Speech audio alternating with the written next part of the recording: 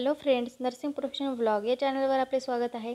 आज आपण N M first इयरचा जे काय पी एस सी ना हा सब्जेक्ट आहे म्हणजेच प्रायमरी हेल्थ केअर नर्सिंग त्याच्या त्याचा एक इम्पॉर्टंट क्वेश्चन आहे पाच मार्कचा तो घेणार आहे. आणि एक डेफिनेशन पण आहे इम्पॉर्टंट ती पण आज आपण याच्यामध्ये घेणार आहेत. त्याच्यामध्ये रोगप्रतिकारशक्ती व शरीर स्वसंरक्षण यंत्रणा. हे नाव आहे त्या टॉपिकचं तर आपण त्याच्यासाठी रोगप्रतिकारशक्ती ही डेफिनेशन जे काय हे दोन मार्कला यादी आलेली इम्पॉर्टंट डेफिनेशन आहे ते आपण बघून घेऊया तर शरीराचे सूक्ष्म जंतूपासून व बाह्य घटकापासून संरक्षण करण्याची क्षमता म्हणजे शरीराची स्व स्वसंरक्षण यंत्रणा.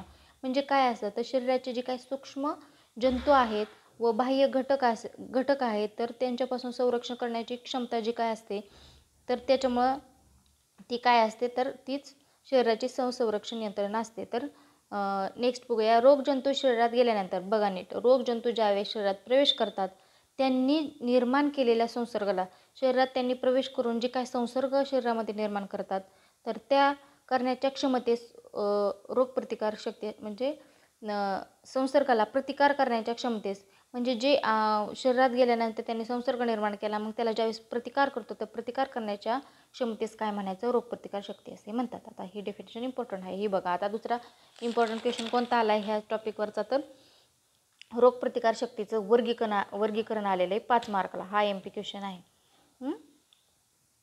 तर ही एक रोग रोगप्रतिकारशक्तीची डेफिनेशन ही एक इम्पॉर्टंट ती बघूयात आपण. ऑर डेफिनेशन लिहित चला म्हणजे कसं दोन मार्क फुल भेटतात. कोणत्याही सूक्ष्मजंतूचा आपल्या शरीरात प्रवेश झाल्यास त्यांचा नाश करून त्यांना शरीराबाहेर काढून टाकण्याची क्षमता म्हणजेच कोणती? रोगप्रतिकार शक्ती.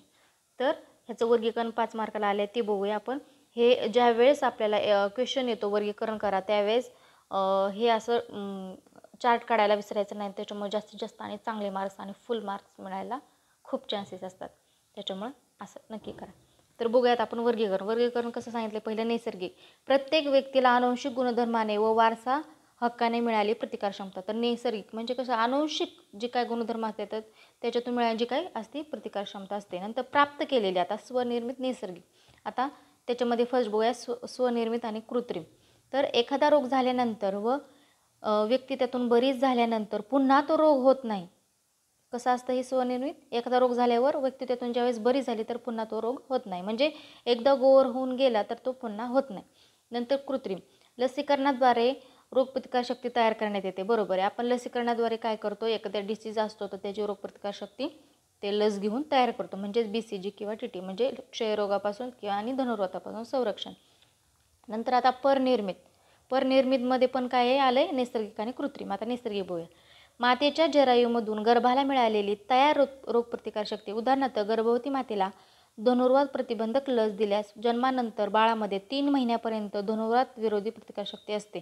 म्हणजे काय होतं? जी काय मातेचे जरायू म्हणजे जी काय वार असते प्लासेंटा आपण म्हणतो त्याला तर त्यातून जी काय मिळालेली रोगप्रतिकारशक्ती असते हे बाळासाठी. तर मग मातेला काय होतं? आपण ज्यावेळेस टी टीचं इंजेक्शन देतो तर काय होतं? जन्मानंतर तीन महिन्यापर्यंत काय होतं मग बाळाला? अ, धनुर्वाताविरोधी रोगप्रतिकारशक्ती मिळते. नंतर आणि तसेच बाळाच्या जन्मानंतर मातेचा चीक प्रसूतीनंतर दोन तासाच्या आत पाजल्यास बाळाला तयार रोगप्रतिकारशक्ती मिळते. तर जी काय चीक असतो त्याला कोलेस्ट्रॉम असं म्हणतो आपण त्याच्यामध्ये खूप काही विटॅमिन्स असतात प्रोटीन्स असतात ते त्याच्यामुळं काय होतं बाळाला रोगप्रतिकारशक्ती मिळते. आता कृत्रिम पाहूया यामध्ये रोग झाल्यावर किंवा रोग होण्याची शक्यता अधिक आहे व ॲक्टिव्ह लसीकरण करून स्वनिर्मित रोगप्रतिकारशक्ती तयार करणं होण्यास अवधी लागतो. म्हणजे काय होतं?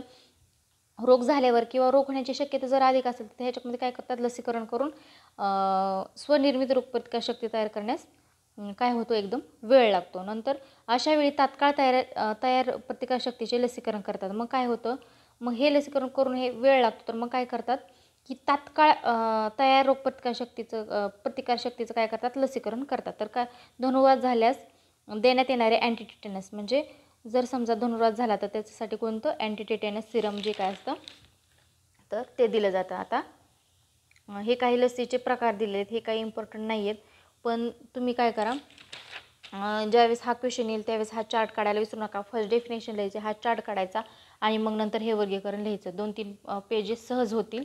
आणि हे डेफिनेशन ही इम्पॉर्टंट आहे. रोगप्रतिकारशक्तीची हे ही ही एक ही एक फर्स्ट ही लिहायची नंतर ही लिहायचं आणि ऑरमध्ये ही डेफिनेशन लिहायची. म्हणजे डेफिनेशन लिहून तुम्हाला दोन मार्क फुल मिळतील. तर हा व्हिडिओ आवडल्यास नक्की लाईक करा सबस्क्राईब करा. बेल ऐकून वाजवायला विसरू नका जेणेकरून फर्स्ट तुम्हाला नोटिफिकेशन येईल. आणि इम्पॉर्टंट क्वेश्चन आहे याचा स्टडी नक्की करा. भेटूया पुढच्या व्हिडिओमध्ये तोपर्यंत बाय